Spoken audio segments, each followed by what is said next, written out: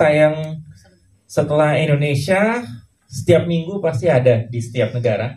Hmm. Kalau di Australia New Zealand kalau nggak salah satu bulan setelahnya, tapi kalau Malaysia, Singapura dan lain-lainnya satu sampai dua minggu setelah tayangan Indonesia. Oh, oke.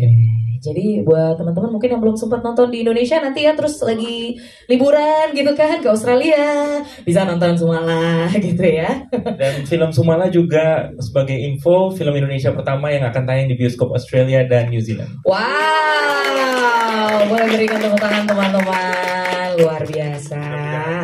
Baik, bagaimana teman-teman media? Ada lagi yang ingin bertanya?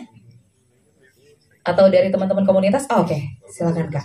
Mikrofonnya tadi di mana terakhir ya? Oh, di belakang. saya ini aja penasaran aja posternya kan lumayan mencekam ya buat eh, Mas Rizal itu apa dari mana inspirasinya sama itu proses fotonya itu kayak gimana itu bisa miring-miring gitu kayak Kalau Pak poster kayaknya Pak Rocky nih. Ya. iya serem banget pak Em, kita kan bikin empat poster. Semuanya rata-rata yang kita bikin adalah based on cerita yang ada di filmnya. Seperti yang kepala putus atau yang di anak-anak di di apa cornfield yang meninggal itu kan semua sesuai film.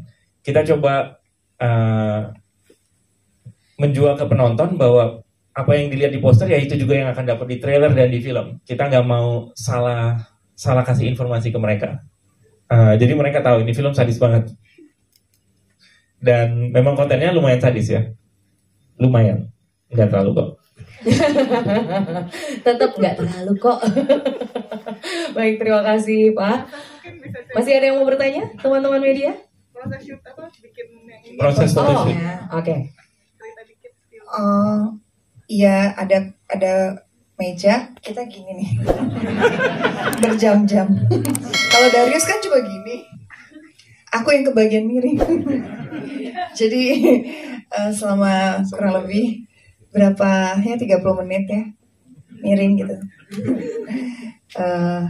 Se- badannya sih sebenarnya ada tapi kan di ujung terus ya ceritanya di darah-darahin terus nanti di CG di potong gitu. kurang lebih gitu. Kalau Darius gimana? Potongnya pakai itu pisau undangan itu. Oh, nggak nggak keputus. Kurang tajam ya. Baik, terima kasih sudah cukup ya, Mbak. Mbak, sudah cukup? Oke, terima kasih banyak.